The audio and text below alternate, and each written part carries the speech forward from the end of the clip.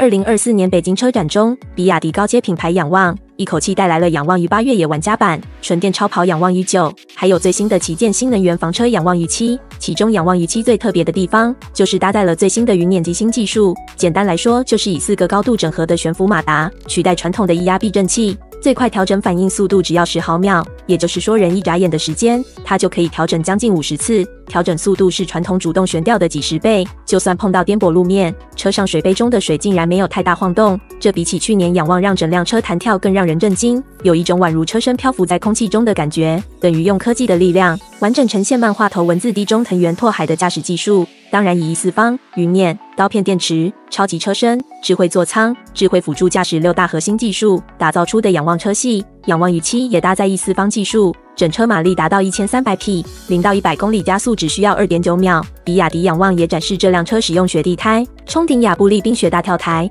这样的影片跟路虎征服冰岛大坝逆流而上有异曲同工之妙。而旗舰新能源房车仰望于七在时速一百二十公里的测试标准下，风阻系数只有零点一九五，比世界上许多超跑都还要厉害。至于外观部分，则是见仁见智。仰望于七当然沿用招牌的时空之门家族式设计语言。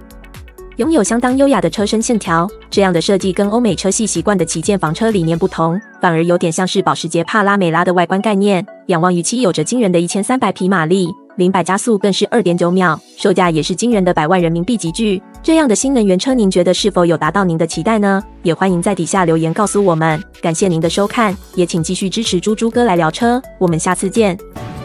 在这里想告诉大家，这不是药。保养习惯就要从现在开始，九十天青春有感计划拥有弹性美肌，超级 easy。输入推荐代码，还可以享有更多的额外优惠折扣哦。搜索中天车厂家，或者输入 at CTI car，就是 C T I C A R，就能找到我们了。